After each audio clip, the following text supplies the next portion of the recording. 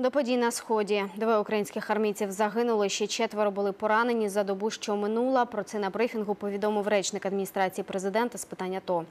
Обстріли бойовиків фіксували на всіх напрямках. На Донецькому з артилерії гатили по Луганському району Донецького аеропорту, а по Авдіївській промзоні з кулеметів і гранатометів.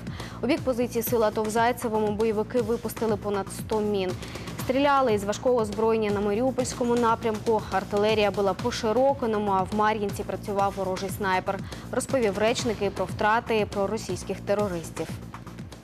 Підтверджені втрати противника за минулу добу один загиблий та четверо поранених окупантів.